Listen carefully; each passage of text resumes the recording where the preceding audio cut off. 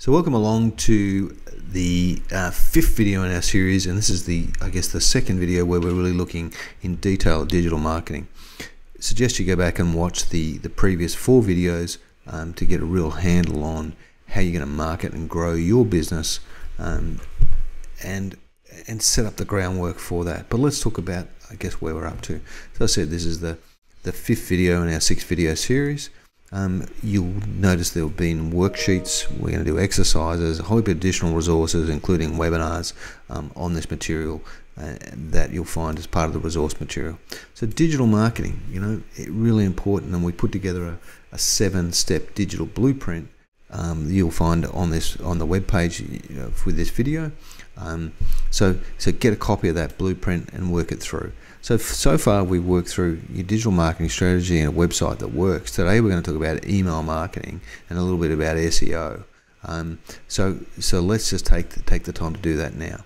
Now we've given you a digital marketing plan, um, and you'll find this uh, in the resources. And up to date, we've sort of got you to fill through these sort of issues and cover off these sort of things. So we want you to think clearly about about these sort of things. But next, we're going to start talking about about how it all starts to fit together. And and step three is called email marketing is the king. There's a really good reason for that. That social media is a great place to contact people and connect with people. It's not a great place to be doing your selling.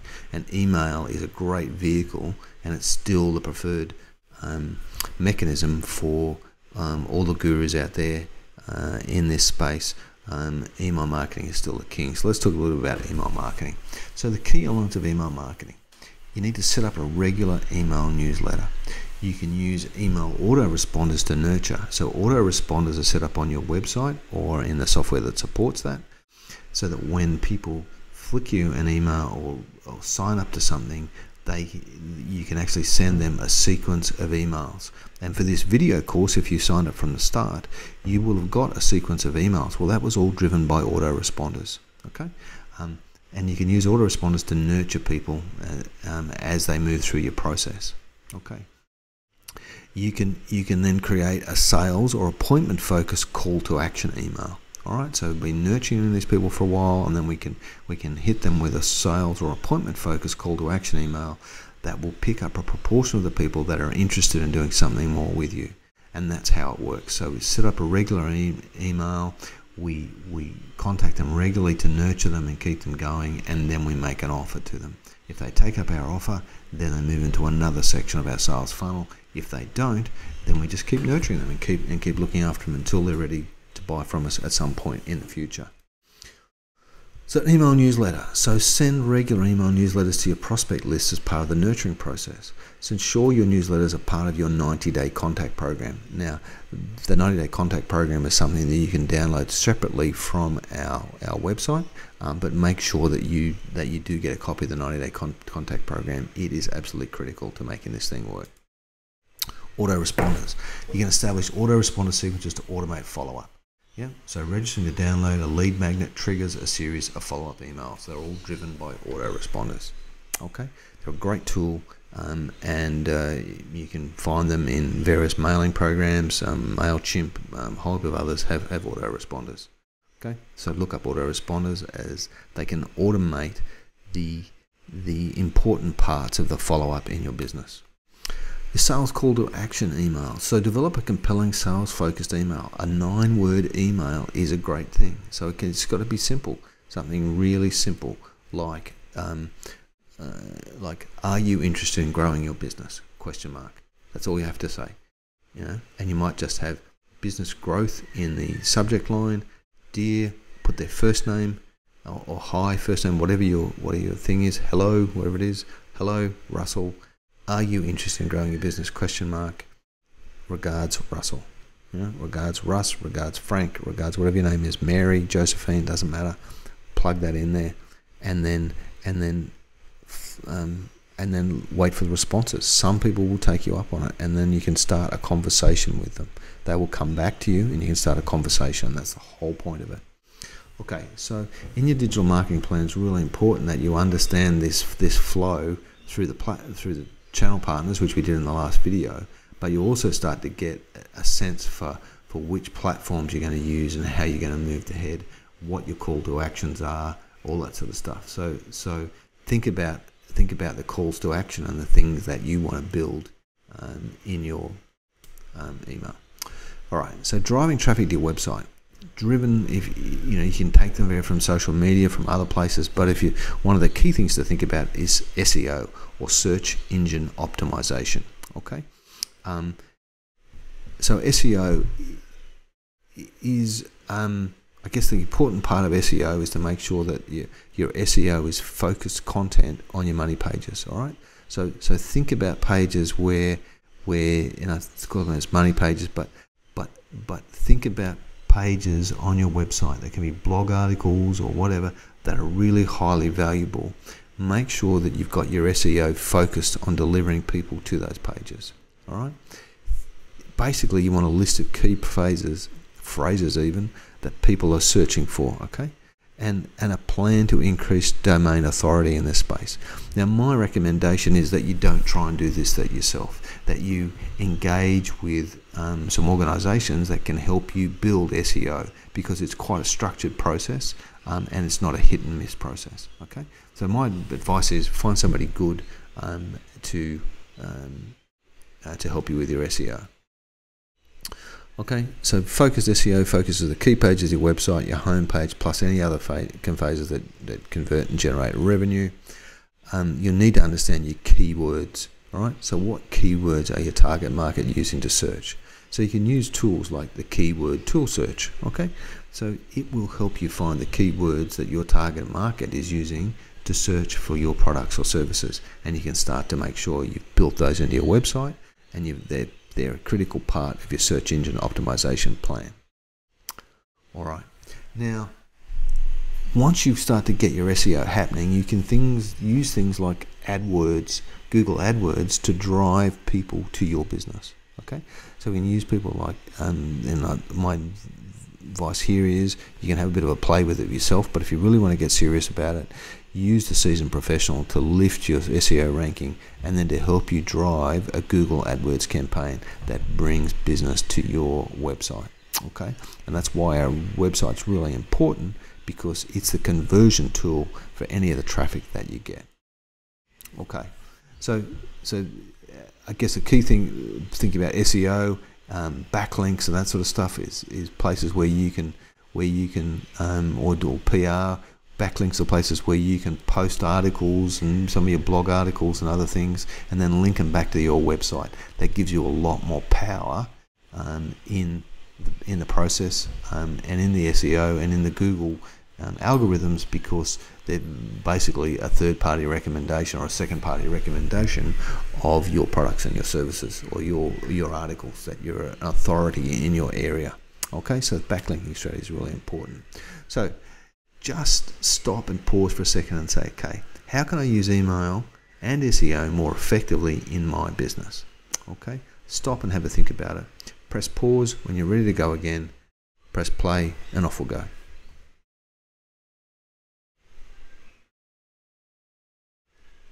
Okay, welcome back. So I hope you've got some good actions there. So so step five is to engage in social media. Okay, so social media is really um, a, a, new phenomenon, probably in the last decade, um, and it's growing. And there are different versions and different models every time. And there's a couple of key things with social media. Some key social media elements are we need to develop a social media strategy. You need to have a clear strategy for how you're going to approach social media, and there are some great people to help you do that you need to select the social media platforms that are appropriate for your target market and, and for the services and products that you offer. You need to build profiles on those social media websites. You then need to build awareness, and that's by connecting, following people, sharing content, liking their stuff, making comments, all that sort of stuff. Build awareness of you and what you're doing. You need to build credibility, your own personal credibility, by being involved in discussions, mentions, you know, posting unique content on them. So it's really important that, that you're clear on what your social media strategy is and how you're going to, to use it to your best advantage. Use this sort of simple infographic here to think about, you know, are you going to use social media, uh, just focus on SEO? Are you going to use social, sorry, um, search engine marketing. So that's about you know Google AdWords and those sort of things. Is your website there? You know, is it is it mobile and tablet friendly? Do you have landing pages that people can come to that are, that are good sales processes? And then think about your your your social media platforms that your target market will be on, and is it where they go for um, for uh, information? So, do you have a blog? The tick should be yes. YouTube for video, really important. Are you going to use email marketing? Yeah. Now, you're going to use webinars? Possibly. Um, where are you going to post this stuff? Pinterest, Snapchat? Are you going to develop your own apps? Are you going to do podcasts? Use Twitter, Instagram, LinkedIn, Facebook. These are the main things we need to be thinking about. Just use this tech checklist to tick off which bits it is that you need to focus on. Okay? Make sure you've got it covered. Now, um, with social media, be really careful that you pick, you know, one or two platforms that you're really going to focus on because it can be very distracting trying to deal with Facebook, LinkedIn, Instagram, Twitter, you know, Snapchat, Pinterest, um, you know, and TikTok or whatever else that's out there, out there at the moment. So think very carefully about about these things. Okay. So, what social platform is right for you? It comes back to that that part of the model. Four questions I'd ask you: Who's your target market? What do you sell? Where do they hang out looking for your product or service? You know, if you're selling stuff um, that that people won't go looking for on Facebook, then don't be on Facebook. If you are a business to consumer marketer, then Facebook's probably an appropriate place, as maybe you know Instagram or something else. If you're purely a business to business um, uh, offer, then you know I would think going on to some of these other platforms could be of dubious value to you all right? And be be wary of the vanity measures on some of these things where you're just looking at likes and things. At the end of the day you want to get business out of it. And then the other question is how targeted can you be on that on that um, particular platform? How targeted can you be in terms of extending your reach out to your out to your client base? Once you've got those four questions answered then you'll be able to work out which platforms you should be on. All right and here's, a, I guess, a quick summary of them. There's new ones coming up all the time. Um, you know, B2C is business business to consumer. Um, you know, B2B is business to business. So, so you know, for argument's sake, you know, if you're on YouTube, it's great if you're business to consumer and and or business to business. It's fantastic for millennials, and it's just full full of video. Okay, so um, you know think about think about these various um, social avenues social platforms that you can be using to get in contact with your target market. So recommendation is pick two maybe three platforms and focus you know. For argument's sake you might just pick linkedin webinars and youtube okay? That's all you're going to do. All right? So then you need to generate some content for these platforms to make it systematic. This is the key thing with it. Consistency is really important in this space because it builds a reliability part of your trust equation. If you understand what the trust equation is, go back and watch the first part of video one, um, where we talk about one of the key components and one of the key concepts to understand about marketing is this trust equation. Okay, so how do you do it? Um, how do you do your social media stuff? You can do it yourself, write your own content, getting out there. You can use contractors, so you can use your virtual assistant or freelance copywriters and those sort of people to, to do it. And then there's also third party again who do that. These could be industry specific newsletter services and stuff where where they'll write um, a generic industry specific um, articles and blog and blog posts, and you can take those and post them on your website or on social media. Where do you get your ideas from? I think a great way is to brainstorm 50 issues that are impacting your clients, and then write articles around those sort of things.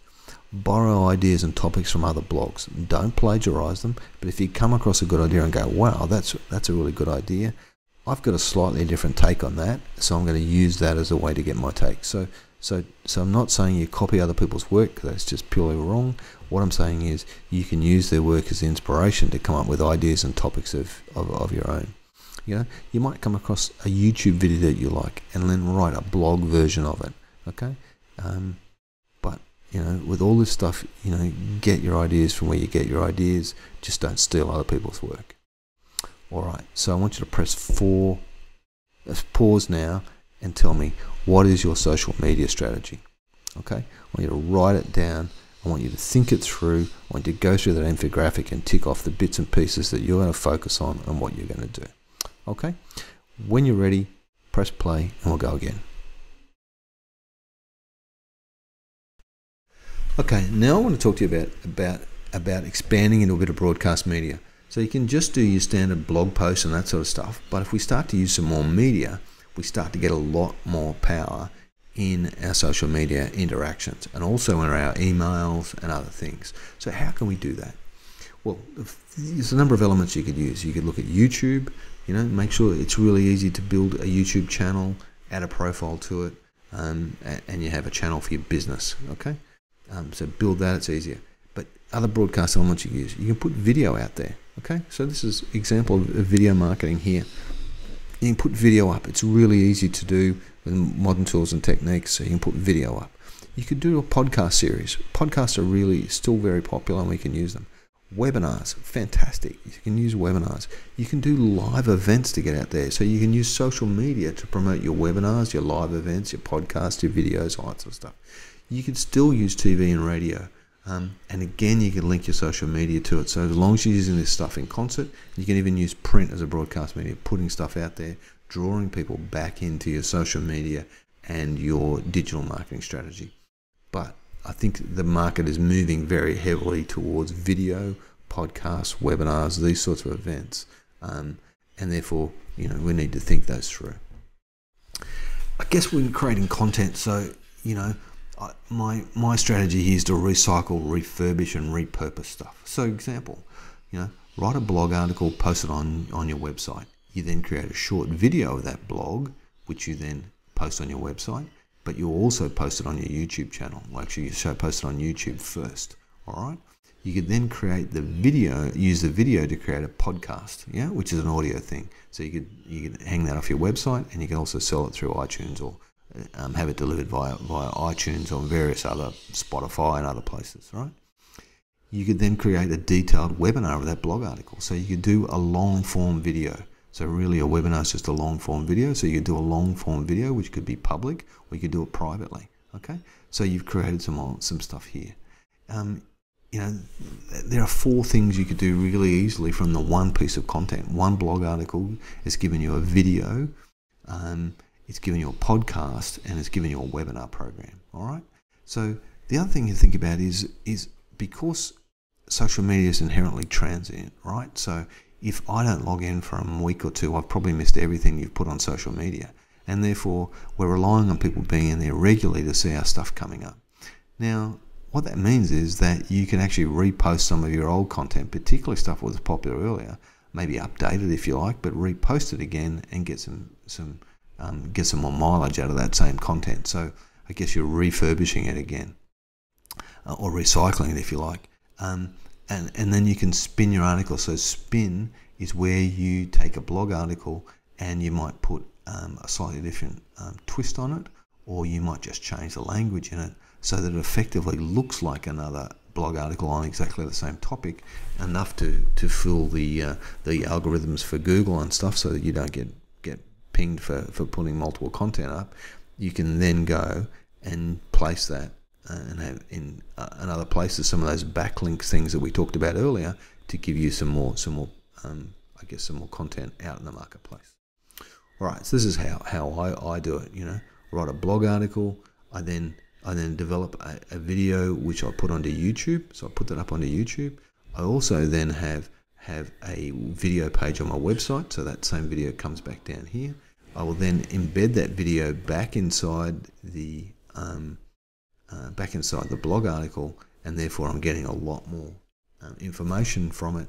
Um, and uh, and then I can also build um, another another webinar. So um, really really powerful way to get a lot of mileage out of um, a single product.